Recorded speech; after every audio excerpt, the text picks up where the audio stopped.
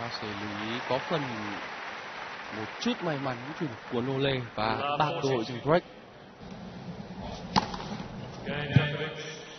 Và một giờ đấu dễ dàng của Novak Djokovic 3-0.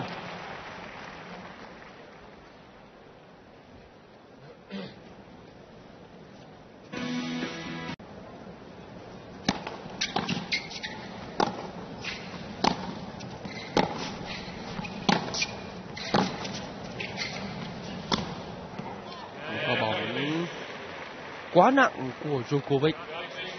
Ba đường bóng được tung ra.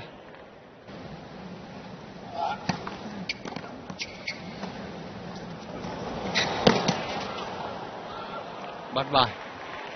Pha bóng rất quái của Nole.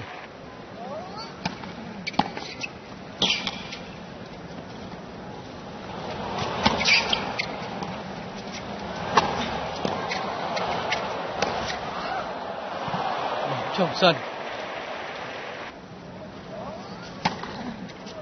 Và thêm một điểm ace nữa để kết thúc trận đấu này với tỷ số 6-1 cho Nole.